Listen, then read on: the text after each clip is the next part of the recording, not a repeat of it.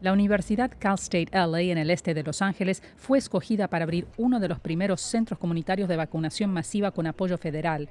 El otro está en Oakland, en el norte de California. Ambos centros están cerca de vecindarios donde viven latinos y negros. Está en el centro de una área que tiene mucha necesidad de servicios. Estas comunidades cercanas tienen una población vulnerable. Operados por la Agencia Federal FIMA y la Oficina de Servicios de Emergencia de California, con el apoyo del Departamento de Defensa, los centros ayudarán a acelerar el proceso de vacunación.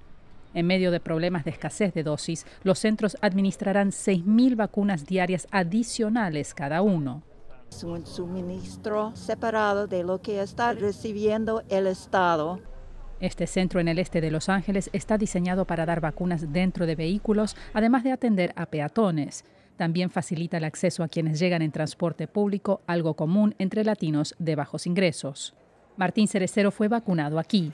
Fue muy eficiente ya que estuvo aquí el, el ejército y agilizaron las cosas. Patricia Marín, que trabaja en una tienda, se siente afortunada que consiguió una cita tan rápido. Era muy importante porque todos los días llegaba a mi casa con el temor de estar infectada. Según el Departamento de Defensa, se comenzará a enviar tropas a Nueva York y Texas esta semana para empezar a establecer centros de vacunación federales en esos estados. Verónica Villafañe, Voz de América, Los Ángeles.